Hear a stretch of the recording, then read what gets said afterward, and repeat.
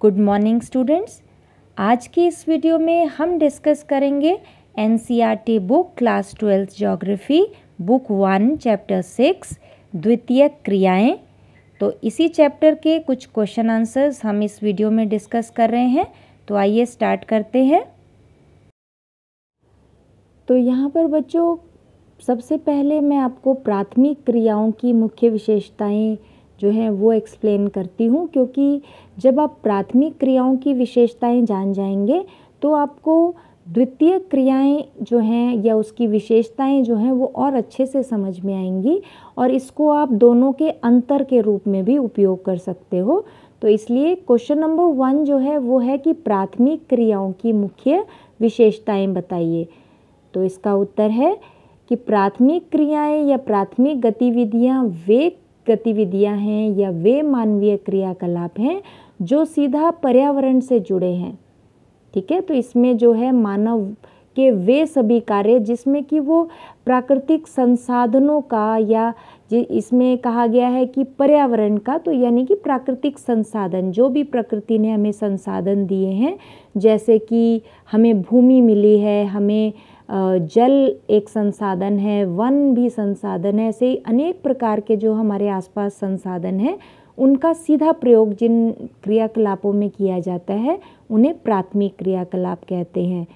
दूसरा है इसका मुख्य जो इसकी विशेषता है, वो है कि इसके अंतर्गत आखेट, भोजन संग्रह, पशुचारण, मछली पा, पालन वनों से लकड़ी, कंदमूल, फल इत्यादि जो है, इस तरह के उत्पाद एकत्रित करना, कृषि एवं खनन कार्य जो हैं, ये सभी प्राथमिक क्रियाकलापों में के अंतर्गत आते हैं या प्राथमिक क्रियाकलाप में सम्मिलित किए जा सकते हैं।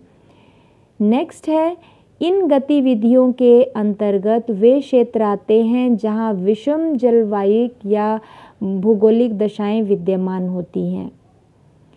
नेक्स्ट इसका, इसकी जो विशेषता है वो ये है कि यहाँ के अधिकतर निवासी आदिम सामाजिक जीवन जी रहे होते हैं। नेक्स्ट ये वे क्षेत्र हैं जहाँ सभी तक आधुनिक प्रौद्योगिकी या तकनीकी का विकास या उसका हस्तक्षेप नहीं हुआ है। तो ये जो पाँच मुख्य विशेषताएँ मैंने अभी आपको बताई तो इससे आपको क्लियर हो गया होगा कि प्राथमिक क्रियाएँ क्या होती हैं? तो प्राथमिक क्रियाओं की जो मुख्य विशेषताएँ हैं, उसमें सबसे पहला है कि वो इसमें हम पर्यावरण का सीधा मतलब पर्यावरण से जुड़े हुए जो भी कार्य हैं, ठीक है? या जिसमें हम प्राकृतिक संसाधनों का उपयोग कर रहे हैं तो वे सभी जो है, वो प्रा प्राथमिक क्रियाएँ कही जाती हैं।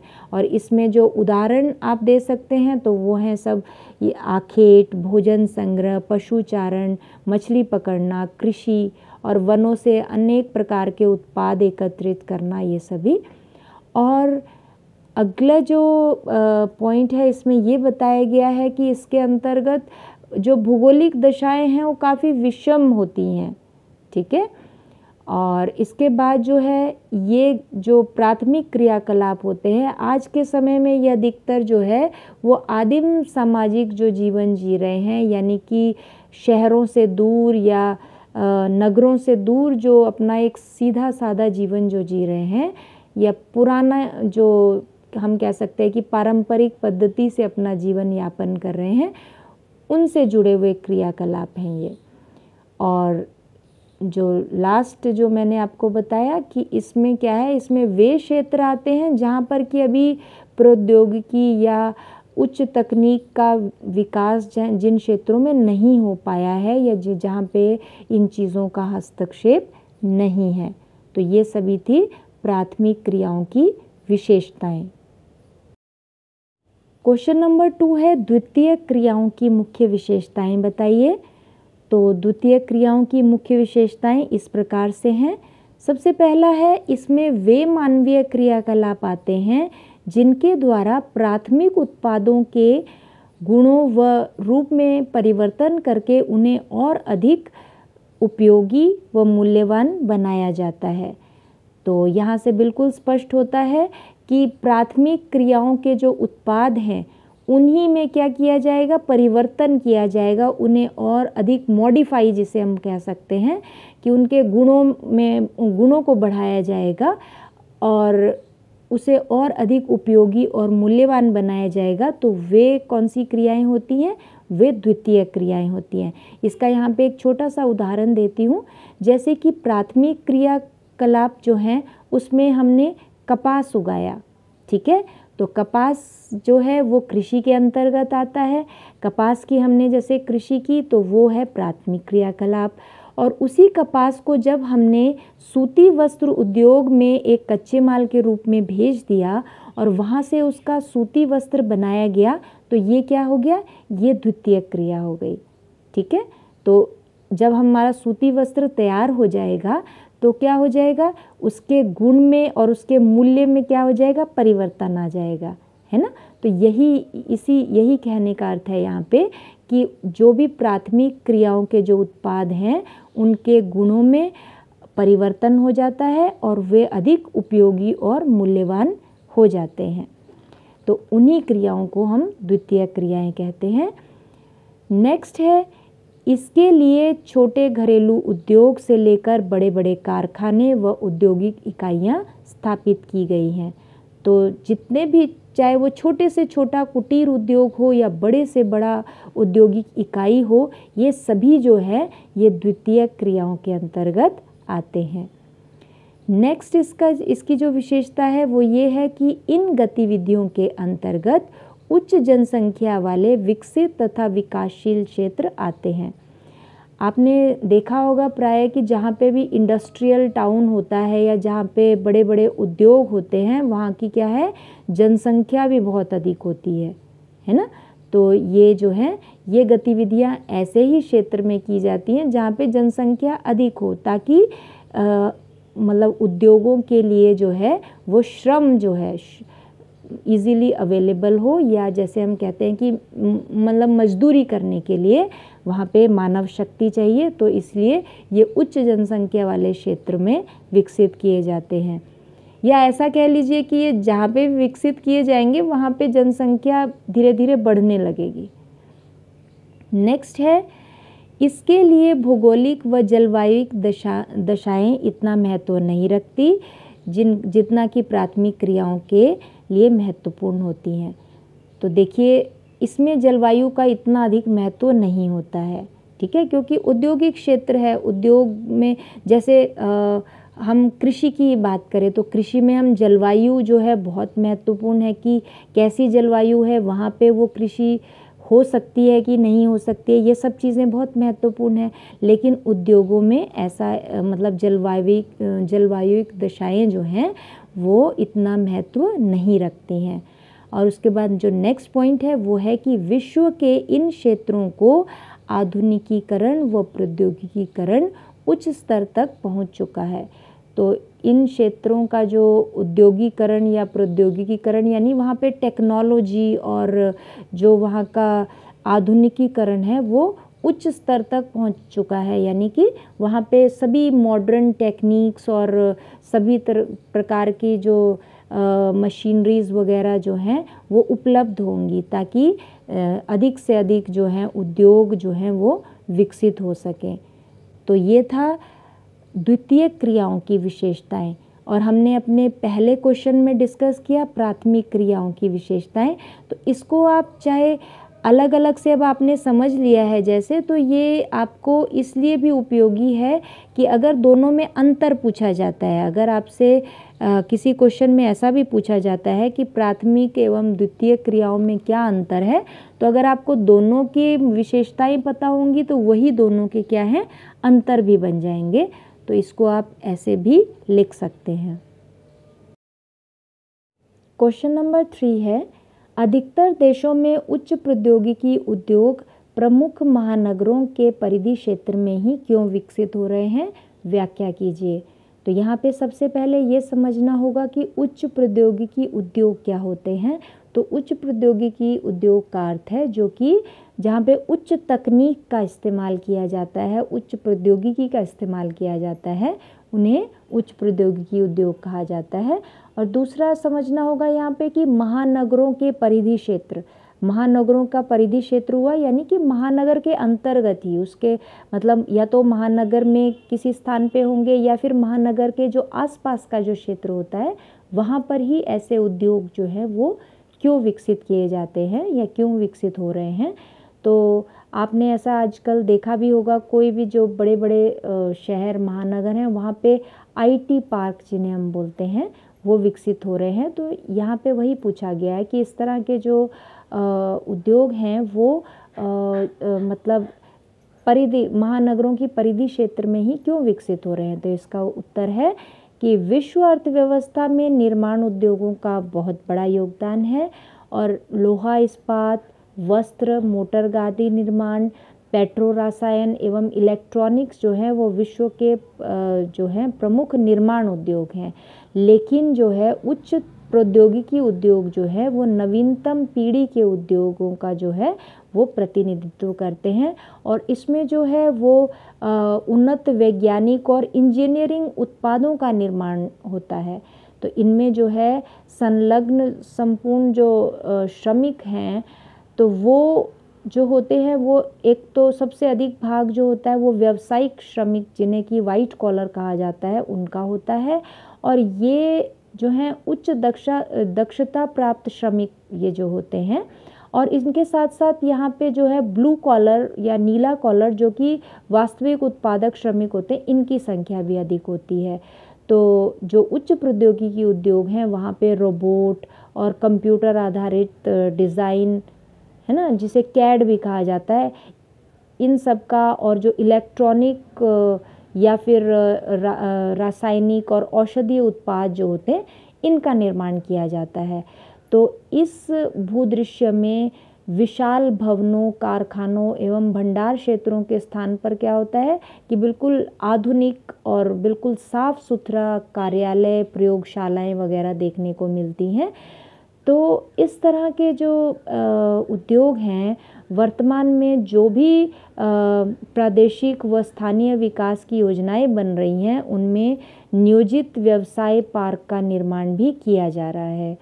तो वही व्यवसाय जिनको मैंने अभी आईटी पार्क वगैरह बताया आपको तो उच्च प्रौद्योगिकी उद्योगों के में निर्मित अधिकांश उत्पादों की जो मांग होती है, वो भी महानगरों में सबसे अधिक होती है। और इसके साथ ही प्रौद्योगिकी व कुशल जो श्रमिकों की जो आवश्यकता होती है ऐसे उद्योगों में, वो भी महानगरों में ही उपलब्ध होते हैं। इसीलिए यही दो मुख्य कारण भी हैं, जिनकी वजह से कि इस प्रकार के जो उच्च प्रौद्योगिकी उद्योग हैं, वो महानगरों के परिधि क्षेत्र में ही विकसित हो रहे हैं। तो ये दो रीज़न्स क्या क्या हैं? ये दो रीज़न्स हैं नंबर वन कि जो भी उच्च प्रौद्योगिकी उद्योगों में जो भी उत्पाद हो बनाए जाते हैं या जो भी वहाँ का उत्पादन होता है, उसकी मांग कहाँ होती है? महानगरों में अधिक होती है। और दूसरा जो मुख्य कारण है, वो है कि जो इसमें हमें कुशल श्रमिक जो चाहिए होते हैं, जो कि बिल्कुल उच्च तकनीक का ज्ञान रखते हों तो ऐसे जो श्रमिक होते हैं, वो भी कहाँ पाए जाते हैं कहाँ प्राप्त होते हैं? वो महानगरों में। तो इसीलिए यही दो मुख्य कारण हैं, जिनकी वजह से कि विश्व के अधिकांश देशों में उच्च प्रौद्योगिकी उद्योग जो हैं, वो महानगरों की परिधि क्षेत्र में ही विकसित किए जा रहे हैं। क्वेश्चन नंबर फोर है, स्वामित्व के आधार पर उद्योगों का वर्गीकरण कीजिए। तो स्वामित्व के आधार पर, यानी ओनरशिप के आधार पर तो स्वामित्व के आधार पर जो है, उद्योगों को हम तीन प्रकार के उद्योगों में बांट सकते हैं। सबसे पहला है सार्वजनिक क्षेत्र, दूसरा निजी क्षेत्र और तीसरा संयुक्त क्षेत्र। तो तीनों की क्या क्या विशेषताएँ हैं? तो सबसे पहले सार्वजनिक क्षेत्र, इसकी विशेषताएँ क्या हैं कि ऐसे उद्योग सरकार के अधीन होते हैं, यानी इसमें आधिपत्य जो है वो सरकार का होता है। दूसरा जो है, वो है कि सरकार ही इनका प्रबंधन करती है। तो जो सार्वजनिक क्षेत्र हो, के उद्योग होते हैं, उनका प्रबंधन जो है, पूरा मैनेजमेंट जो है, वो सरकार ही करती है। थर्ड है, भारत में बहुत से उद्योग जो हैं, वो सार्वजनिक क्षेत्र के अंतर्गत आते हैं, जैसा कि लोहा इस्पात उद्योग। तो जैसे मतलब कुल मिला के इसमें वो उद्योग आते छोटे मोटे उद्योग नहीं, इसमें जो हैं, अधिकतर जो बड़े पैमाने के उद्योग होते हैं, वो उद्योग जो हैं, वो सार्वजनिक क्षेत्र में आते हैं। नेक्स्ट है, अधिकतर साम, समाजवादी या साम्यवादी देशों में ऐसा होता है, यानी कि जो सार्वजनिक क्षेत्र के उद्योग होते हैं, वो अधिकतर उन देशों में पाए जाते हैं अधिक, जहाँ पे कि साम्यवादी अर्थव्यवस्था या समाजवादी अर्थव्यवस्था पाई जाती है। अब दूसरा जो इसका प्रकार है, वो है निजी क्षेत्र। तो निजी क्षेत्र यानी प्राइवेट सेक्टर जिसे हम बोलते हैं। तो निजी क्षेत्र की क्या विशेषताएँ हैं? वो हैं, सबसे पहले कि ऐसे उद्योग का मालिक एक व्यक्ति या एक कंपनी होती है। यानी कि जो उद्योगों उस उद्योग का अधिपत्य होगा वो किसी व्यक्ति विशेष का होगा। मतलब कोई एक मालिक होगा उस उद्योग का। दूसरा है व्यक्ति या निजी कंपनियाँ इस उद, इन उद्योगों का प्रबंधन करती हैं। तो इसका मैनेजमेंट प्रबंधन भी वही करेंगे वही देखेंगे जो कि उसके ओनर हैं जो जिनके अंडर वो कंपनी है। तीसरा है कि पूंजीवादी देशों में यह व्यवस्था होती है।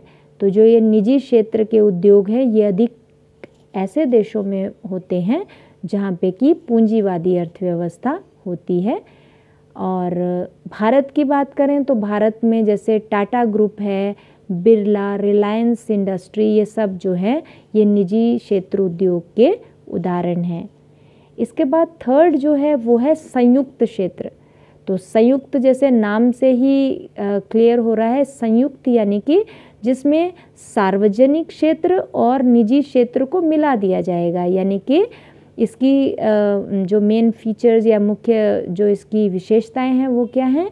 कि कुछ उद्योग ऐसे होते हैं जिनका संचालन सरकार और निजी कंपनियाँ मिलकर करती हैं। तो ऐसे उद्योगों को संयुक्त उद्योग कहा जाता है। और भारत में ऐसे उद्योग कौन कौन से हैं? उदाहरण के लिए जैसे कि हिंदुस्तान पेट्रोलियम कॉरपोरेशन लिमिटेड और मित्तल एनर्जी लिमिटेड जो है, ये कंपनी है।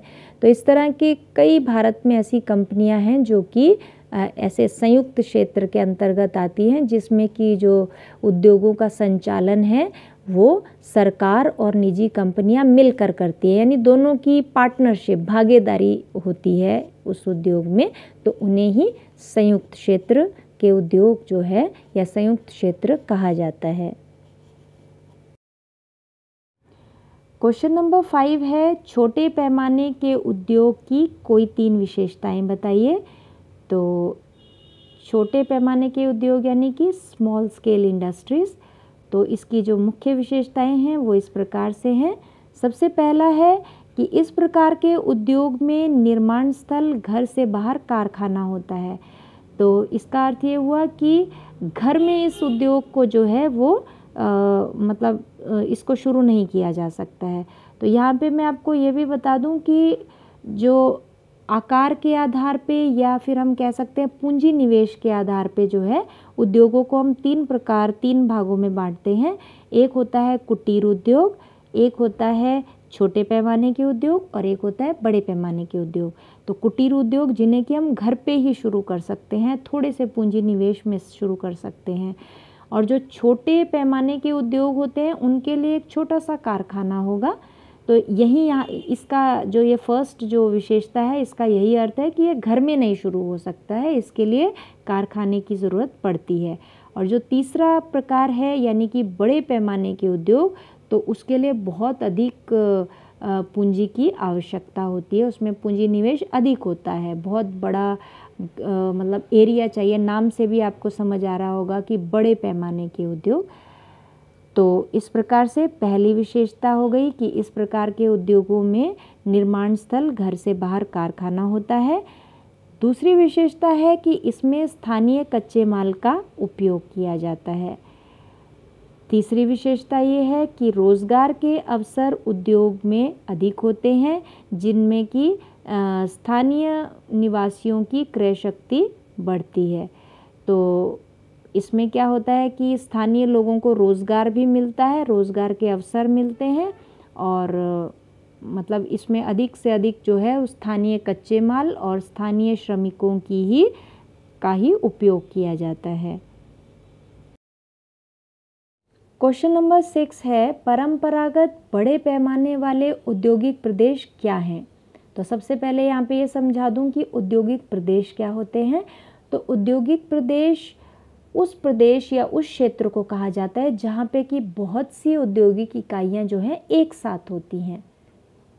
मतलब कि एक ही क्षेत्र में बहुत अधिक कारखाने हों, उसे औद्योगिक क्षेत्र के रूप में ही विकसित किया गया हो तो उसे औद्योगिक प्रदेश या औद्योगिक संकुल कहा जाता है। तो यहाँ पे प्रश्न पूछा गया है कि परंपरागत बड़े पैमाने वाले औद्योगिक प्रदेश क्या हैं? तो इसका उत्तर है कि यह भारी उद्योग के क्षेत्र होते हैं, जिनमें कोयला खादानों के समीप धातु पिघलाने वाले उद्योग, भारी इंजीनियरिंग, रसायन निर्माण, वस्त्र उत्पादन आदि का कार्य किया जाता है। इन्हें धुएँ की चिमनी वाला उद्योग भी कहते हैं। कई बार मैंने क्वेश्चन पेपर्स में देखा है शॉर्ट क्वेश्चंस में पूछा जाता है कि धुएँ की चिमनी वाला उद्योग कौन सा होता है? तो ये कौन से होते हैं? ये परंपरागत बड़े पैमाने के उद्योग होते हैं जैसे कि जिनमें कि भारी इंजीनियरिंग या रसायन निर्माण इस प्रकार का कार्य जो है वो होता है। और इस आ, मतलब औद्योगिक प्रदेश में की प्रमुख विशेषता क्या है कि इसमें क्या है औद्योगिक इकाई के आसपास का वातावरण अनावश्यक होता है और जिसमें कि गंदगी के ढेर व प्रदूषण होता है। तो जैसे कि इनको कहा ही क्या जाता है धुएँ की चिमनी वाला उद्योग। तो इसलिए क्या है कि आ, मतलब इस औद्योगिक इकाई में या इस औद्योगिक प्रदेश में जो है वो वातावरण अनाकर्षक होता है। यानी कि अनाकर्षक से मतलब है कि भूदृश्य अच्छा नहीं होगा। मतलब गंदगी के ढेर और वातावरण बिल्कुल भी स्वच्छ नहीं होगा और प्रदूषण बहुत अधिक होने की वजह से ही मतलब ये कहा गया है कि वातावरण जो है वो अनाकर्षक होगा।